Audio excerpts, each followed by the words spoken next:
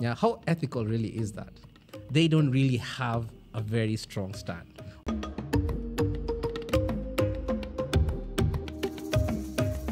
When you put something in fine print, you're like, you should have read this sort of thing, yeah. But at the same time, you're not driving, uh, you're not actually informing or empowering your customers to know 100% of the decision that they're supposed to make. How ethical is that? At the end of the day, you know, ethics is having a stand. So that can be subjective. Like, you know, for me, this is my portion and this is what I stick to. These are my values and so on. I feel like for a lot of brands, they don't really have a very strong stand, or at least they don't communicate enough about it. A lot of brands don't stand for something at any given interaction with every customer, truth, honesty, transparency are the things that should be the first front loaded to them first.